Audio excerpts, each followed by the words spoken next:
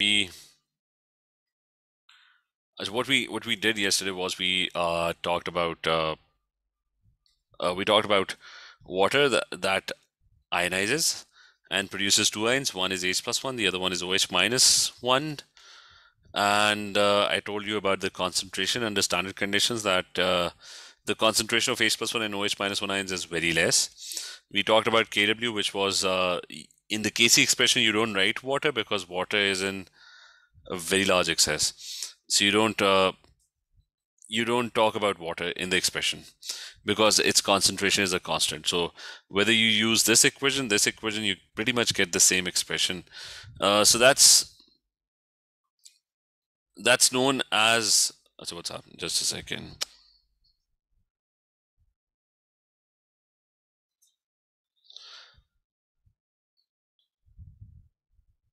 So now this one is known as kW, and I told you that the value of kW uh, that is 1 times 10 power minus 14 mole square dm minus 6 and it's always the same value except it only changes with temperature. Kw increases with temperature because you have more dissociation uh, and i did give you the concept of uh, of acids and bases that i told you that uh, the concentration in a solution of H plus 1 uh, H plus 1 might go up but simultaneously in an acidic solution the OH ions would come down so the concentration, the product of the concentration would still come out to be 1 times 10 power minus 14 at room temperature under standard conditions. And in an uh, in a basic condition, um, the concentration of H plus 1 would go down and the concentration of OH ions would go up. But uh, the product would still come out to be equal to 1 times 10 power minus, uh, 14 in that case as well. So the product uh, remains the same uh, under standard conditions. And I told you that for tracking purposes, you don't. Uh, I mean, why I I did explain why H plus one.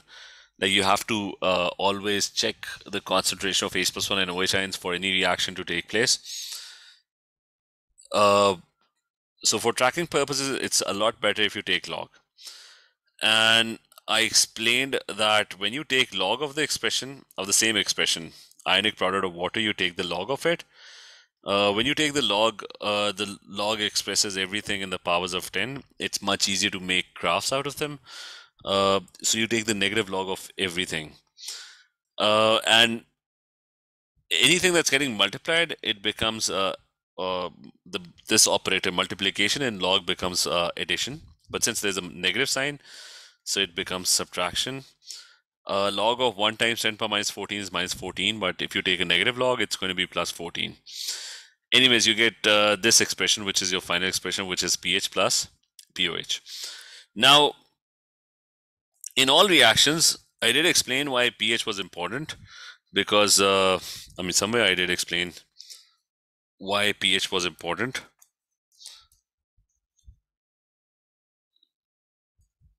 Just a second.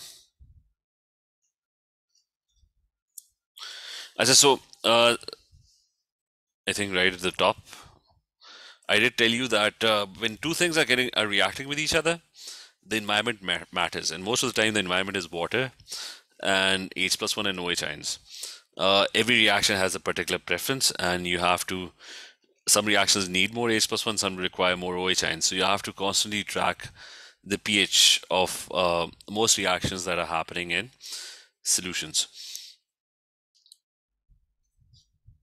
So the first part is we're going to learn how to calculate the pH of solutions. Now, when it comes to pH, we are, I told you, we, we're not interested in Ions. Why? Because if you get the, get, uh, uh, if you know the pH, then by default, you would also know the pH. Like it's, it's pretty obvious that, uh, uh for example, you have like if you're tracking H plus 1 and H plus 1 goes up, then it's understood that the concentration of OH ions is going to go down. If the solution becomes acidic, uh, an acidic solution is going to have fewer OH ions. And vice versa. If H plus 1's, uh, the quantity of H plus 1 goes down, then it's understood that the quantity of OH ions is going to go up. Uh, so you just have to track one of them. The other one is understood. Like like you just track uh, H plus one, you don't track both of them because the other one is going to be a reciprocal of that. If one is going up, the other one is go- is going down. If there's more H plus one, there's going to be less OH ions. If there's more OH ions, there's going to be less H plus one ions. So you don't have to calculate pOH. You always uh, just stick to pH. Otherwise, there's nothing wrong with pOH, but the convention is you just you just calculate pH, and pH is simply simply the negative log of the concentration of H positive ions. Now it's very easy if uh, just a second. So calculating pH is kind of uh, really really easy for strong acids. Why? Because they're fully ionized. So it's not an issue for pH for strong. So pH for strong acids, which we know that they fully ionize. So for example, uh, I add HCl to water, right? So if I add HCl to water, uh, and let's say I, HCl is a strong acid. So let's say the concentration of HCl is 0.5 mole per dm cube. Now that means it's going to fully ionize. It's every molecule is probably going to break down into H plus 1 and Cl ions. So the concentration in the solution for H plus 1 is going to be 0.5 mole per dm cube as well. Right? Is this clear to everyone? Like a strong acid fully ionizes, so so you can yes. directly so you, you can directly know the concentration of H plus ions. You don't have to do any any uh, extra math. It's just uh, whatever is the concentration of the acid, the same is probably going to be the concentration of H plus plus ions as well. TK, is this clear? Mazga, is this clear? Yes, sir. Uh, and remember, there's water as well, but the but the quantity of H plus ions that actually come from water are negligible. Like uh, we did discuss, like water ionizes, so it produces uh, it produces very few H plus ions. So in a solution, we can kind of assume that if there is an acid present, we can assume that most of the H plus ions are coming from uh, from the acid and the H plus ions that are coming from water are kind of negligible. So you can you can kind of ignore them. Okay, so there are two things that are producing H plus ions. One is HCl dissociating, and the other one is water ionizing. But uh, we can kind of ignore water because uh, it's it's the number of ions are negligible. So calculating pH is easy. How do you calculate pH? pH is the negative log of H plus 1 concentration, which in this case is the negative log of 0.5. So what do we get if you take the negative log of 0.5? 0.30.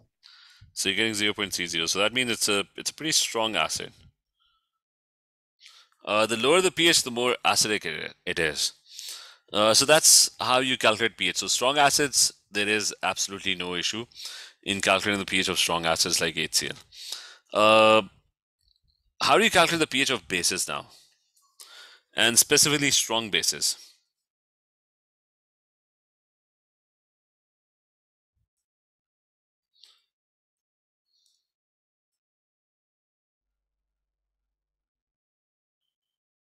And by bases, I mean alkenes in this case. It's, uh, let's say I have NaOH.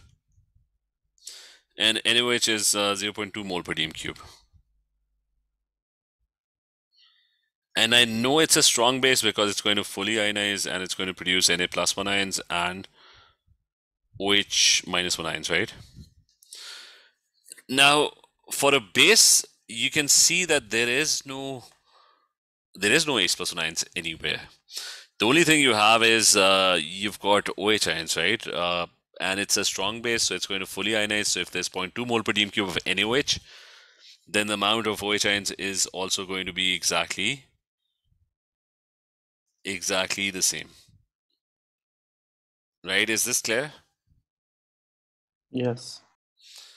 yes So, Achha, so so now for bases, and, and there would be some OH ions that would be coming from water ionizing,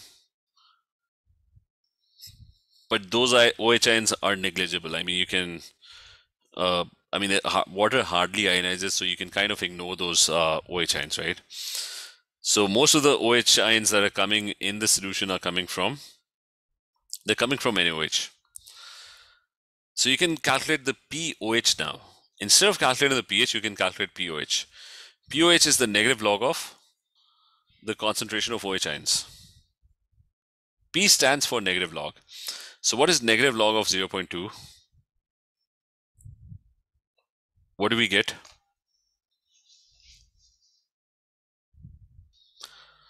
Zero point six nine nine. So for this, you get 0. Point, uh, let's say 70, right? That's your pOH. But remember, I told you no one discusses pOH. Uh, what they do is they always convert it into pH. So we have this uh, relationship which is that pH and pOH they must add up to be equal to 14. So I'm going to use this relationship and I'm going to turn the pOH into pH. So uh, pH pOH plus pH is equal to 14, which means uh, that 0.7 plus pH should be equal to 14, and my pH would come out to be equal to, it's going to come out to be equal to what, 13.3? Right? Is this clear? Yes. So it's it's coming out to be 13 point, point 0.3. Uh, and that is what basic is. Uh, like you have a pH scale, and uh, in the pH scale, 7 is what is neutral. Anything that's above 7, and remember there is no limit, 14 is not a limit, it could be 15 as well. Anything above uh, above that is going to be basic or alkaline, and anything below that is going to be acidic. Uh, why is neutral 7? Because neutral only has water in it. So if you take uh, if you take uh, the pH of water, where's water? Uh, so water has what concentration? I mean, where's the concentration? We wrote it somewhere. Uh, so water has this concentration. Like if you have pure water, the concentration of H plus ions is going to be exactly 1 times 10 power minus 7. If you take the negative log of this, you calculate the pH, it's going to come out to be exactly 7.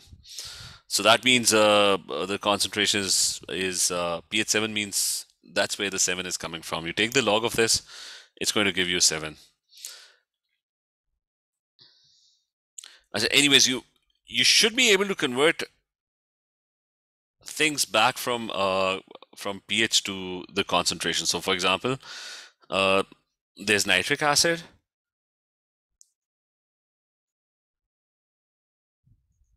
And the pH of this nitric acid is, uh, let's say, 1.2. And they're asking you to find, uh, it's a strong acid, they're asking you to find the concentration of this particular nitric acid. What's the concentration of nitric acid? So you should be able to do the reverse as well uh, because now the pH is already given, right? So you should be able to do the reverse now.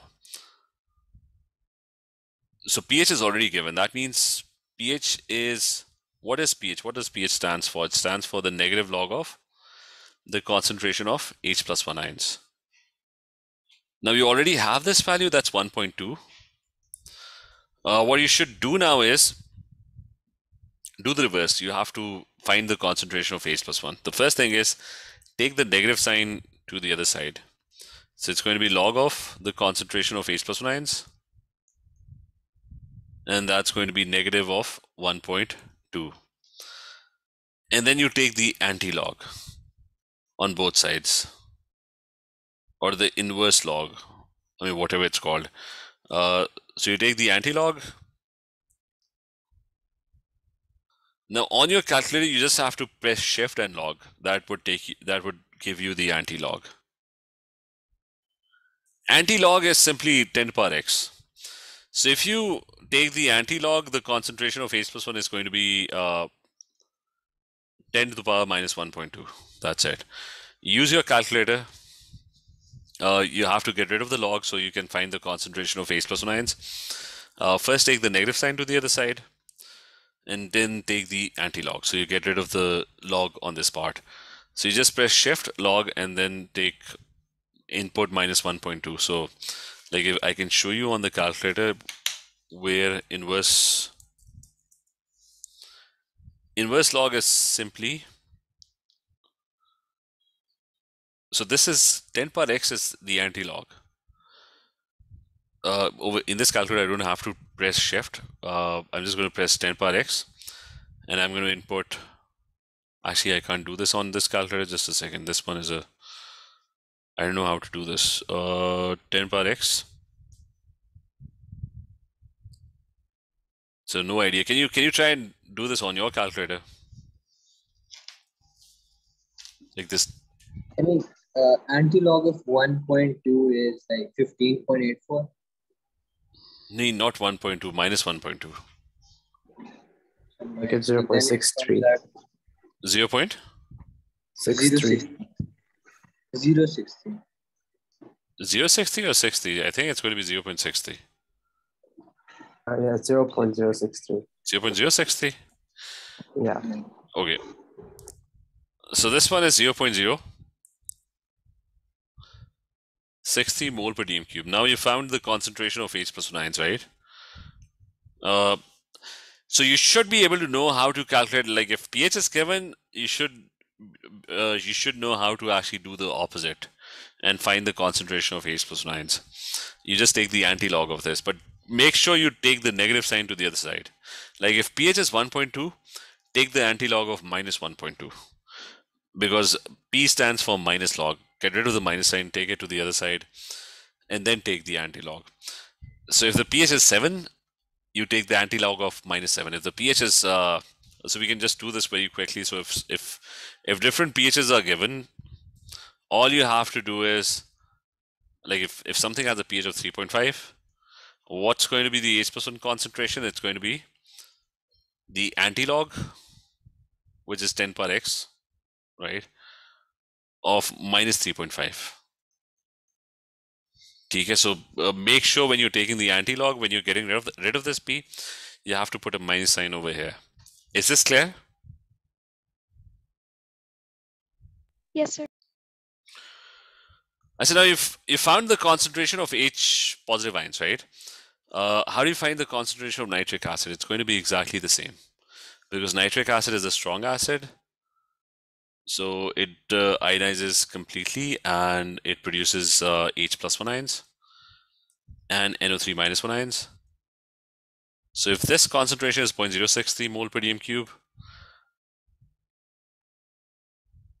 then nitric acid would be exactly the same as well.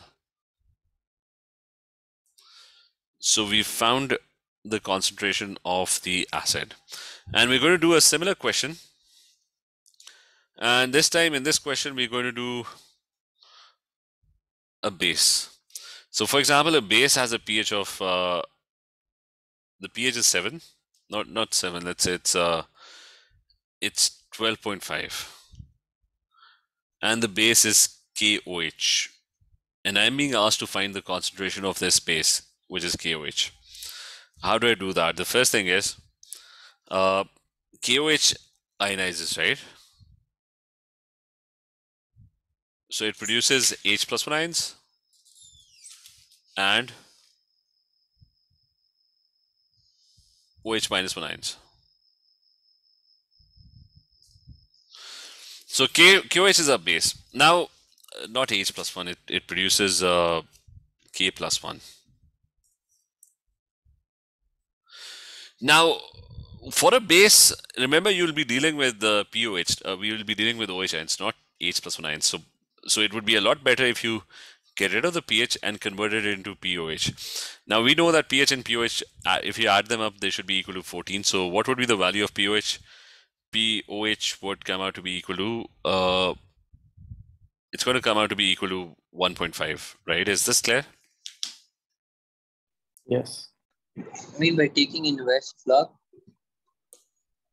Nee, I've, I haven't taken the inverse log. I've just used this. Uh, I mean, yet I haven't taken the inverse log yet. What I've done, I've done is I've I've used this uh, use this property that pH and pH they should add up to be equal to 14. Acha, alright. Oh, sorry. Okay. So I just I just use that But property. sir, if it's a base, why is pH given? If it's a base, then why is like pH given? Nee, that's what I'm saying. It's uh, because I previously told you that uh, conventionally speaking, you just track H plus one ions. Uh, because I told you that if if because the OH ions is understood, like if you know that H plus one is going up, it's automatically understood that OH ions are going down. Vice versa. If, okay. so so you don't track both of them. You just track one of them. So conventionally speaking, uh, they're always tracking pH. So it's uh, one second. So which is why you're always dealing with pH. You don't deal with pOH. Uh, but obviously for a base you have to deal with pOH because uh, bases have every, everything to do with OH ions. They don't have anything to anything to do with uh, H plus one ions. But again, um, uh, any graphs everywhere in the world you'll be tracking pH.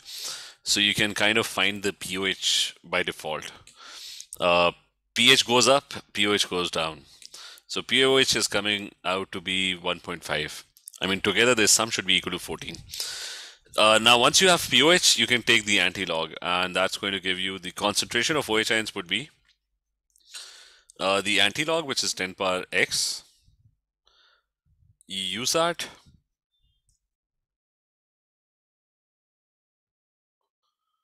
Of minus 1.5. And what value do, you, do we get?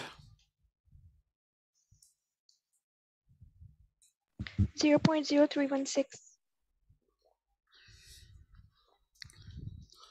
So we're getting 0.0316 mole per decimeter cube.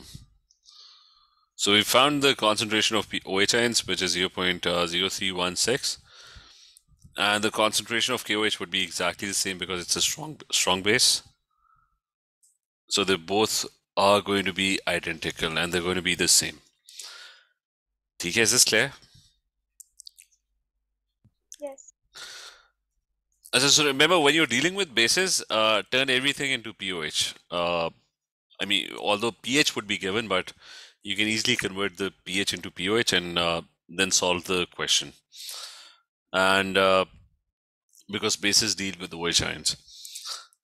So that's for strong acids and strong bases. Strong acids and strong bases are kind of easy uh, because they're fully ionized. Uh, so it's very easy to actually figure out the concentration. Uh, if the concentration is given, the H percent concentration would be exactly the same. Now that's for strong acids and strong bases. Uh, sir, Yes. I have a question. Uh, when H2SO4 dissociates, there's 2H plus, right? Yeah. So if the concentration of H2SO4 is like 0.5, would it be the same as Uh, that's the I'm, 2H plus? I'm actually coming to it. Okay, this is the Oh, thing alright. I'm going to discuss now. I said now uh, I'm going to talk about I'm going to talk about uh, weak acids now.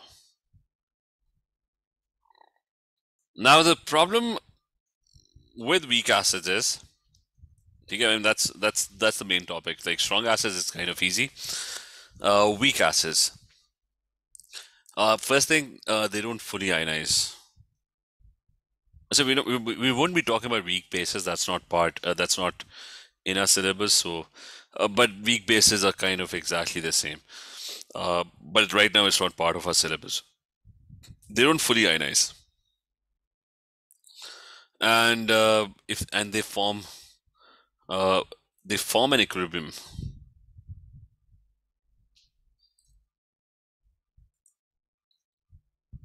They form an equilibrium. Uh, for example, I've got uh, ethanoic acid, right? Not all of it is going to ionize, just a few molecules might ionize. And they would form CH3CO minus 1 ions and H plus 1. ions. Uh, so this is every weak acid would form this equilibrium, no matter what that weak acid is. Uh, if you have a thousand molecules, right? At equilibrium, uh, out of the thousand, maybe 998 are still intact. Two of them dissociate, and they produce two of these ions and two of this these ions. So, so weak acids they ionize very very weakly, and they, do, and they don't they don't fully ionize.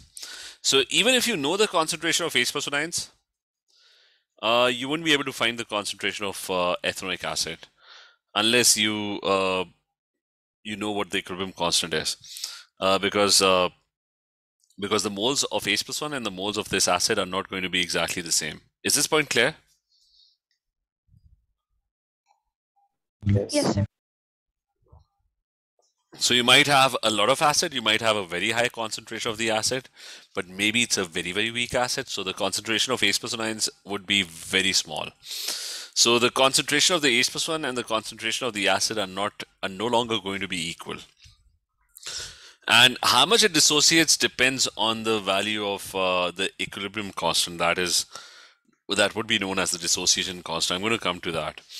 So remember, any acid pretty much uh, ionizes in the same way. Any acid, uh, any weak acid. Like if I have NH4 plus one ions, it's going to dissociate and produce uh, NH3 and release NH plus one ion. If I have uh, butanoic acid,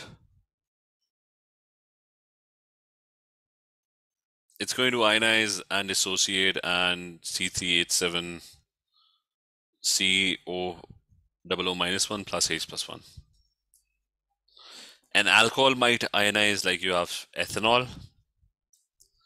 Remember, we did discuss that they were very weakly acidic. So the H, I mean, they were even, they had even weaker ionization compared to water. So C2H5O minus 1 ions would be produced and H plus, H plus 1 would be given off. So you can see a pattern over here. And we can, what we can do is we can uh, write a general equation for acid dissociation, which is, let's say I have HA, that's what an acid is. I mean, an acid has an H plus 1 that it's willing to give away. Uh, so it's an H plus 1 attached to something, right? An H plus 1 uh, attached to some random molecule. So I'm going to call that A. So there's an H plus 1 attached to something. It's going to dissociate and it's going to form a single H plus 1 ion and whatever left left of the molecule, right? Let's call that A minus 1. Uh, for example, NH4 plus 1 dissociates, it produces an H plus 1 ion and some other random molecule. Uh, let me write it this way.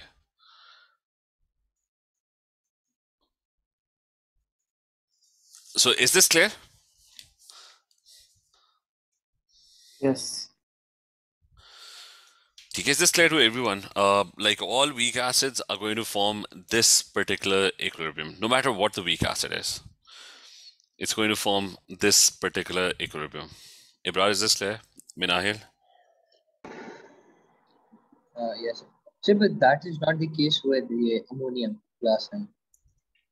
No, it's kind. I mean, I, I'm I'm not interested in A minus one. It like, forget this. I mean, it's this could be anything, right? I don't care what A. I don't care what A is. It's just that every weak acid. Well, even this would not always be neutral. Like you, you can have, you can have an ion like HSO4 minus one.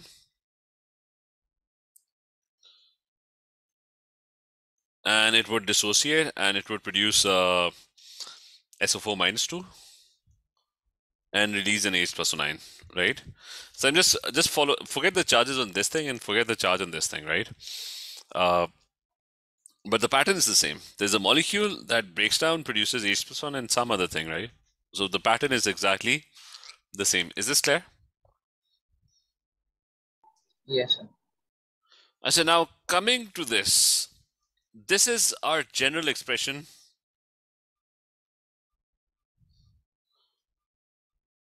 for weak acid dissociation. There's one thing odd about this. Can anyone tell me what What's wrong with this?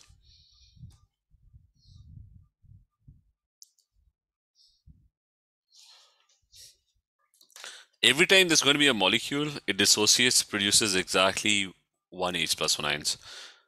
So do all acids produce one H plus H plus one ion? Or can acids produce more than one H plus one ion? Yes, you can. Okay, so the thing that's odd about it the, about this is that they are diprotic and triprotic acids. They are acids like H2SO4 that are capable of producing two H plus one ions, or H3PO4 that's a triprotic acid that's capable of producing three H plus one ions, right? So, so why am I calling this the general expression for weak acid dissociation? Because I'm adamant that there should only be one H plus one, right? So the thing is, if you have a diprotic acid like uh, H2SO4, uh, the same dissociation pattern would be followed, even though it has uh, two H plus one ions. But what would happen is, let me draw the H2SO4 molecule. It's double bond O, and there's OH and and OH. I mean, this H breaks off and this H breaks off. Now, the two H's are not going to break off at exactly the same time. What's going to happen is there's going to be two dissociations. There's going to be H2SO4. It's going to ionize. One of the H plus one over here is going to leave. And what's going to be left is going to be HSO4 minus one and an H plus one ion would be produced. So that's that's the first step. Uh, that's our first dissociation. So this H plus 1, it has left. And you're left with uh, HSO4 minus 1 over here. In the next step, uh, this molecule is now going to dissociate. So that's your HSO4 minus 1. And it's going to dissociate now. And this other H plus 1 would break off and that would leave you with SO4 minus 2 and another H plus 1 ion would be produced. So you can clearly see that it's still following the same pattern, except that the dissociation is happening in two steps. There's A minus 1 and there's some H plus 1 ion that's being produced, right? So there's going to be two dissociations. First, H2SO4 is going to dissociate, and then after that, the HSO4 minus 1 is going to dissociate. Ethan, is this clear? that you're, you're having two dissociations, right? Yeah.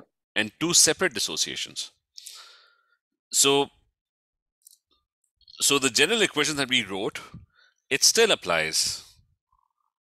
And also remember that these are completely two independent dissociations. Uh, sulfuric acid is not one acid. It's not behaving as one acid. I mean, initially there was H2SO4 that was dissociating. In the second step, there's something else that's dissociating. That's your H2SO, HSO4 minus 1 ion. The two things are going to dissociate in different ways. Can anyone guess which one is the stronger acid out of the two?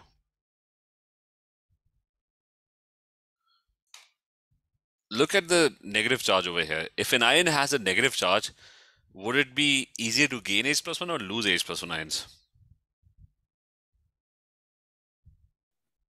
Easier to gain it. so it would be much harder for it to lose another H plus 1 ion, right? Uh, so this second dissociation is going to be very weak. So H2SO4 behaves as two acids. Like the first dissociation is uh, it's behaving as a strong acid.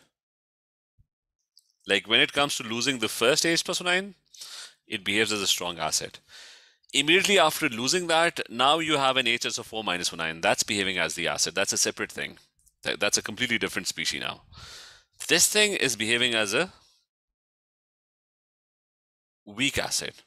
So remember, H2SO4 is not one acid. H2SO4 uh, ionizes stepwise. It at the end of the day, it produces two H plus ions. But uh, the first one, first dissociation would be very easy.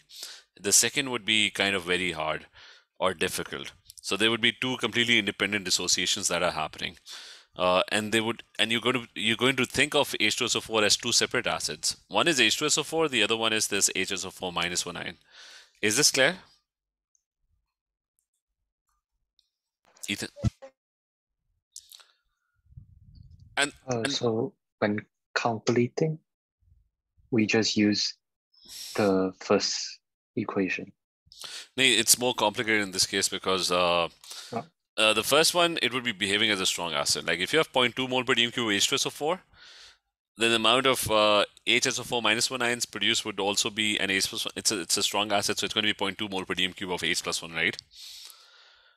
But when it comes to 0.2 mole per dm cube of, uh, I mean, I can write the values. Let's say I have 0.2 mole per dm cube of H2SO4. The first one is behaving as a strong acid, so 0.2 and 0.2 are produced, right? But now when it comes to the dissociation of HSO4 minus 1 ions, that's a lot more difficult. So the second H plus 1 dissociating is kind of uh, the amount that is produced after for the second dissociation, that's going to be a lot lesser. Is that clear? Yeah. So you're going to treat it as two separate acids. Same goes for H3PO4. I mean, H3PO4 is going to ionize in three steps. It's first going to lose uh, 1H plus 1. So it's behaving as one acid. Then in the in the solution you have this species. That would be the one that would be behaving as your second acid and that would produce HPO4 minus 2 ion and another H plus 1 would be produced. And finally, now in your in your solution you have this HPO4 minus 2 ion and that is going to dissociate and behave as a third acid and it would produce PO4 minus 3 ion and produce another H plus 1 ion. So H3PO4 would be behaving as three separate acids. The third one would be the least uh, acidic. It's going to it's it's going to be the weakest acid because it has a negative two charge. So it would be very hard for it to actually uh, lose an H plus one. It would be more. It would be attracting H plus one very strongly. It won't be losing H plus one that easily. So this one would be behaving as a very weak acid. This one would be behaving as a weak acid. The first dissociation would happen, and in the first dissociation, it would be behaving as a strong acid. So H3PO4 is not going to produce three H plus one ions. It's going to produce the first H plus one, it would produce readily. The second one, kind of, uh, uh, it would have to, it, that would be very difficult to produce, and the third one would be kind of impossible to let go of. Ethan, is this clear? Yep.